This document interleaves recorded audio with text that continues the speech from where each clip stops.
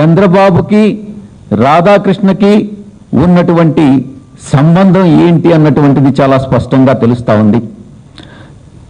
Telugu Desam party అభిమానులు NT రామారావుని అభిమానించేటటువంటి ఏ వ్యక్తి అయినా కూడా ఈ వీడియో చూసిన తర్వాత చంద్రబాబుని ఒక నీచమైనటువంటి వ్యక్తి అని తప్పకుండా గర్హించడం జరుగుతూ ఉంటుంది.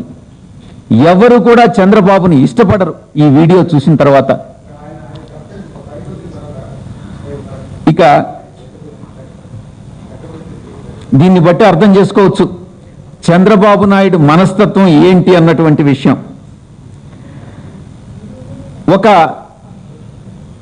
ఒక మాటలో చెప్పాలనంటే ఒక బురద గుంటలో ఉన్నటువంటి ఉండాల్సినటువంటి ఒక వ్యక్తి మీడియా అధిపతిని కానీ చేస్తే ఎలా ఉంటుందో? ఒక దుర్మార్గుణ్ణి ఒక నీచుణ్ణి ముఖ్యమంత్రి చేస్తే ఎలా ఉంటుందో ఈ యొక్క మీ ఈ యొక్క సంభాషణలో మీరు చూశారు అర్థం చేసుకోగలరు. అసలు చంద్రబాబుకి రాధాకృష్ణకి ఉన్నటువంటి సంబంధం ఏంటి అన్నటువంటి విషయాన్ని ఆలోచిస్తే వాళ్ళ మోడస్ ఆపరేండి ఈ తోకపత్రిక కులపత్రిక ఏదో ఒక న్యూస్ను సృష్టించి ఆ న్యూస్ను ప్రచురించడం టెలికాస్ట్ చేయడం జరుగుతుంది. దానికి చంద్రబాబు చాలా తీవ్రంగా స్పందిస్తాడు. ఆ స్పందనకి మనం ఏదో ఖండనిస్తాం.